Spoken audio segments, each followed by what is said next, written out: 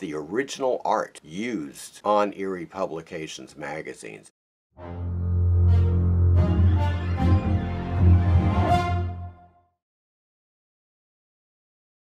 Weird World of Eerie Publications by Mike Howlett. It is on sale. The link is in the description. Welcome to the weird world of Eerie Publications. hey folks, today we have something completely different. Several years ago, I was fortunate enough to get a hold of four prints that were taken off the original art used on Eerie Publications magazines, including Tales of Voodoo, Terror Tales, Horror Tales, and Weird. And they could have been some more, but I think those were the prime issues they were using. In any case, the guy that owns the original art did a spectacular job, as you can see, doing these prints. The reproductions are fantastic. Now, I tried to like ring it up so you could really get a good look at it, but it does cut off the top. But as you can see, the top is simply, you know, was reserved for the title, like Terror Tales is going to go up there. So that's kind of what we're missing, which is not much. So this is indeed for Terror Tales, April of 1973. The artist Bill Alexander, who would do just a ton, I, I believe the mother load of art for these horror magazines from Eerie Publications.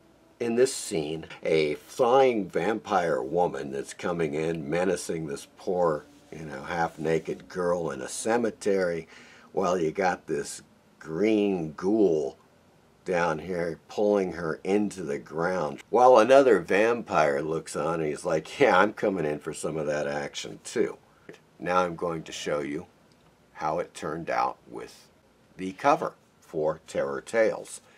And you will see, for instance, differences in, you know, color, coloration. They did that all the time. And they ended up even cobbling these images together later on, you know, to save money. so they would take older issues and take characters from the older issues and just kind of put them together on another cover. And that was the great cobbling. Next up, we have another fine Bill Alexander painting from the February 1973 issue of Horror Tales. And once again, as you can see, all of the action, we're, we're right here at the bottom of the frame. And uh, if you move up, you just see it's kind of black. And that's where they're going to put the title Horror Tales. let's take a, a little look at this, shall we? we have a vampire, this guy in the background, Igor, maybe. You know, he's kind of looking on. He's got blood coming out of his mouth. Hard to say what's going on with him, but Dracula is, of course, hassling this poor girl and not only is, get, is she getting hassled by Dracula, she's got these freaking insects down here that are biting into her flesh. I mean, what's a girl to do? This is, as I said, a Bill Alexander painting. And now I'm going to show you how it turned out on the cover of Horror Tales magazine, February of 1973.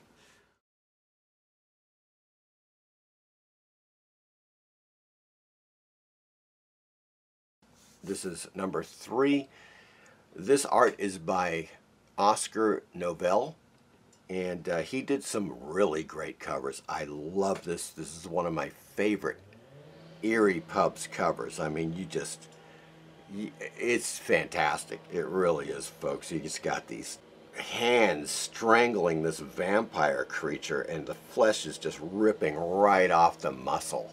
You know, I mean, very well done this guy really knew his shit as you can see. Just the art is superb.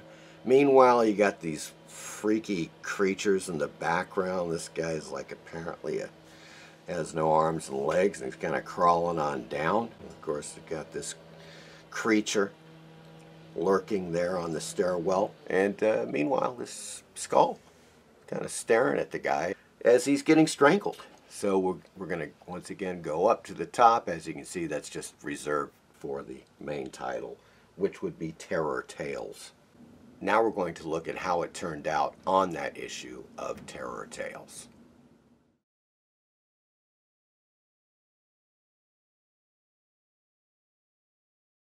Here is the last original art print that I have, and this is from the first issue of Crime Does Not Pay from December of 1969. As you can see once again, on top, Crime Does Not Pay, goes up there, and I believe the artist here once again is Bill Alexander. Now if it's not Alexander, I would bet that it's Carl Burgos. I could not get a direct, a definitive track on the artist on this one, but it's one of the two, I believe, Alexander or Burgos. This one is pretty extreme. I mean, they buried this guy, right? And this guy just proceeds to shoot him up. Eye flying out of his head there, his head's exploding. While the, the dame back here is doing her makeup. Just classic. You know, and of course his henchman over here with the shovel, he just buried the guy up to his neck. I mean, that's that's pretty gruesome stuff, folks. 1969. Okay, and uh, once again, the color reproduction is fantastic. These these prints are really a1 as far as as far as reproduction goes they just did a fantastic job and I'm glad I was able to get a hold of some of these. I do apologize off the bat if you're hearing some background noise. They're doing some major street work. But that concludes my presentation of the original art from Eerie Publications. And now I'd like to show you a couple of the books, indispensable Eerie Publications books that I have. First up, we have the fantastic Weird World of Eerie Publications by Mike Howlett. Introduction by Stephen Bissette. If you love the pubs, you gotta have this freaking book, folks. It is fantastic. Just loaded with invaluable information on the pubs, where they come from, where the stories come from.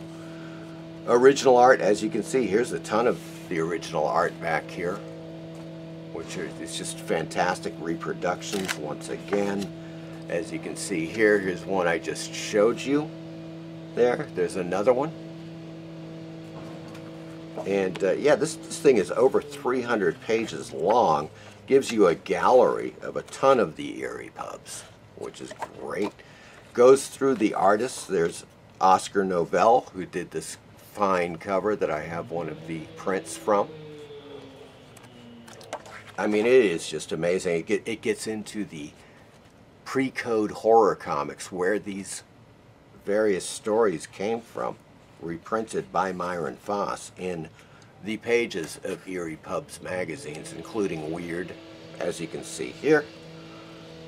Uh, of course, it starts off in the artist chapter with the great Carl Burgos, who worked in pre-code for years, and the Golden Age various Eerie Pubs magazines.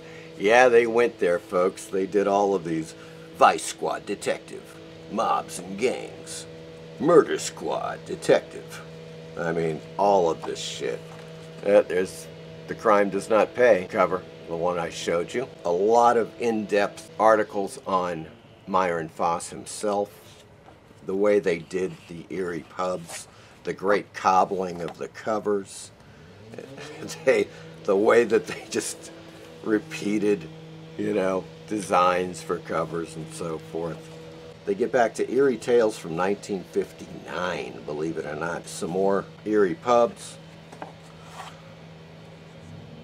Classic pre-code comic book covers. This one, that is really, that's Myron Fass being attacked by his own creations that he's drawing, right? That's the classic he's drawing the horror story with the ghouls and creatures, and of course they come through the window to attack him.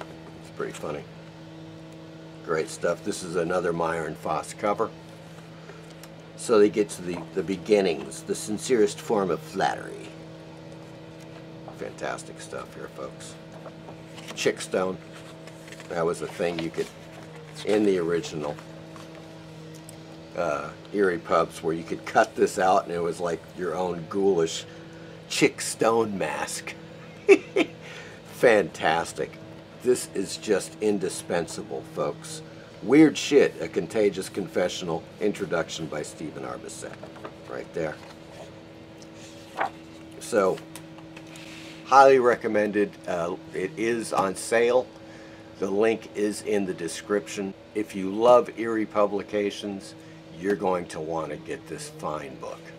The other one I have is The Worst of Eerie Publications. yes.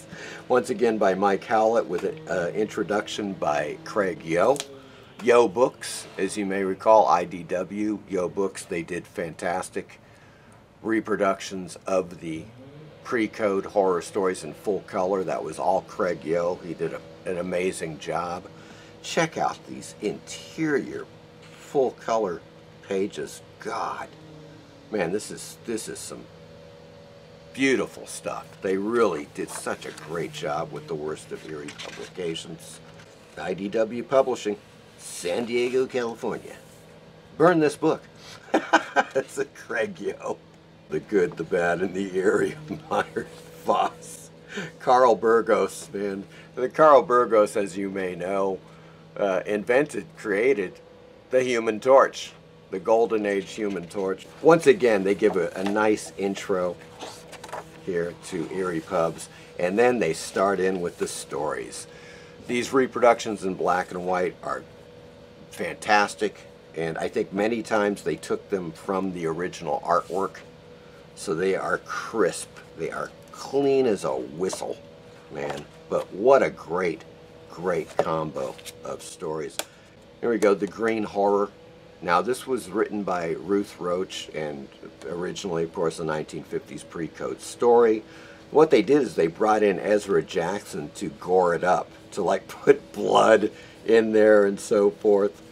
You know, uh, that's how they, they wouldn't, at this point, you know, they weren't like redoing, redrawing the stories. They were just goring them up. They really do have some of the best in here. Tombstone for a Ghoul is great. I chopped her head off. It's a sad romantic tale. they just go to town with some of the best stories from Eerie Publications. Highly recommended, folks. Heads of Horror. You, you gotta read it to believe it that is the worst of Eerie publications. I cannot recommend it enough. Both of the books I've just shown you are on sale, and I have links in the description. So uh, check them out, please. And that ends my presentation of Eerie Publications and the original art prints and the books. I hope you enjoyed it, and I'll see you soon. Bye.